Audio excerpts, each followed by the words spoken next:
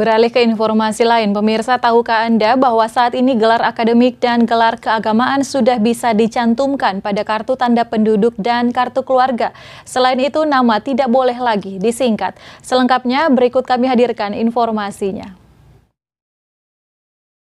Pemerintah melalui Kementerian Dalam Negeri telah mengeluarkan aturan mengenai pencatatan nama warga di dokumen kependudukan. Salah satunya penulisan pada kartu tanda penduduk dan kartu keluarga. Aturan tersebut tertuang dalam Peraturan Menteri Dalam Negeri Nomor 73 Tahun 2022 yang sudah diundangkan pada 21 April 2022 lalu. Ada beberapa hal yang harus diperhatikan warga yang ingin menerbitkan dokumen kependudukan.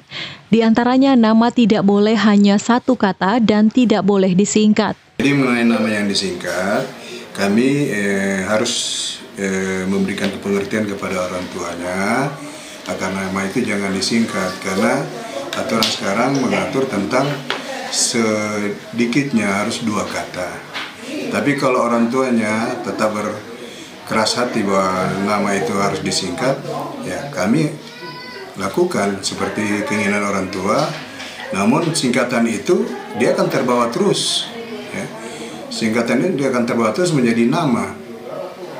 Jadi tidak lagi berlaku sebagai singkatan. Jadi kalau beliau Abdul, Abdullah kalau dia singkat ABD, jadi namanya jadi ABD terus. Sedangkan untuk gelar akademik dan gelar keagamaan dapat dicantumkan di KTP dan kartu keluarga. Iya, jadi kalau gelar bisa dicantumkan di KTP atau di KK, kecuali di akta-akta lainnya. Kalau di KTP dan KK bisa dicantumkan. Syaratnya untuk e, mendapatkan gelarnya apa cuma by lisan atau diminta data pendukung? Diminta data pendukung.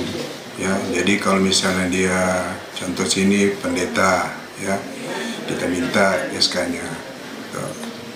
Itu juga kalau dia sarjana apa kita minta agar membuktikan bahwa betul itu Meskipun penulisan gelar diizinkan pada KTP dan kartu keluarga, namun aturan Mendagri ini melarang penulisan gelar pada akta pencatatan sipil seperti akta kelahiran, akta kematian, akta perkawinan, akta perceraian, dan akta pengakuan anak.